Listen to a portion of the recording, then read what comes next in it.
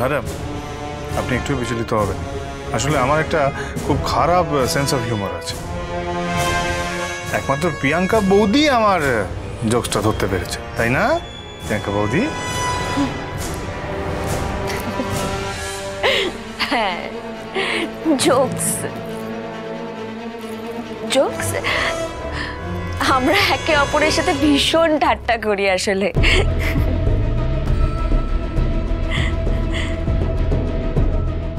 কিছু হওয়ার পরেও ওনার মুখে কথা আসছে? ধুরন্ধর ধূর্ত শেয়ার খুবই নির্লজ্জ ডেসপারেট হুম দেখছি। হুম বুঝলাম। আপনার মনের জোর অনেক মিস প্রিয়াঙ্কা। যাই হোক আমাদের কথা তো হয়েই গেল। আমার একটা অ্যাপয়েন্টমেন্ট আছে বুঝলি তো? আমি বেরোলাম। তোরা বরং একটু কথা বল। হ্যাঁ ঠিক আছে। তুই আয়। প্রিয়াঙ্কা বৌদি আমাদের সঙ্গে একটু বসবে। আরে সৌরভদার মায়ের মাসাজ করবে তো প্রিয়াঙ্কা বৌদি? আর আমি তো খুব প্রশংসা করেছি ওনার। বাহ সে তো খুব ভালো কথা। ঠিক আছে তাহলে তুমি তোমার কাজ করো আমি এগোই।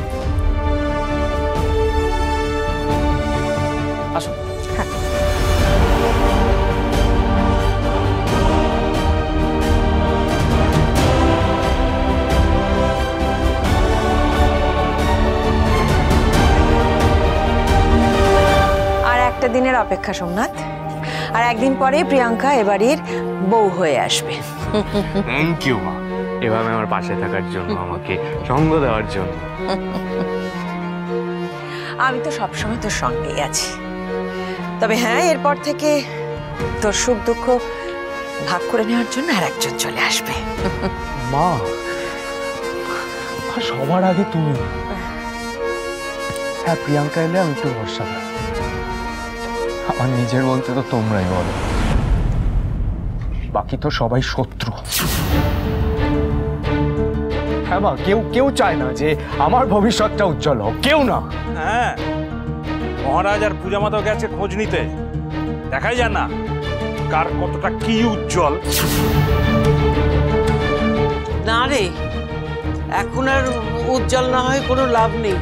আমরা তো কেউ চাই না যে ওর ভবিষ্যৎটা অন্ধকার রূপ আমাদের চাওয়া না চাওয়ার উপর তো কিচ্ছু নির্ভর করছে না মাসিমা।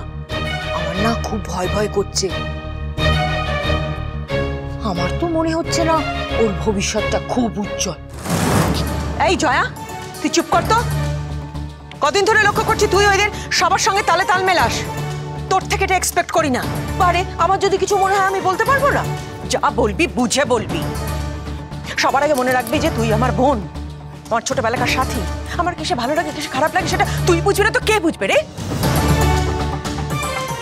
বাদ বাকি আর সবার মতন তুইও ঘরের শত্রু বিভীষণ হয়ে যাস না। কে যে তোমার সত্যি করে শত্রু সেটা যদি তুমি বুঝতে। হ্যাঁ বুঝি। বুঝি আর জানিও আমার নিজের আমার নিজের ছেলে আর তার পাচাল বউ। উড়ান মহাসপ্তাহ সোম থেকে রবি প্রতিদিন রাত আটটায়। স্টার জলসায়।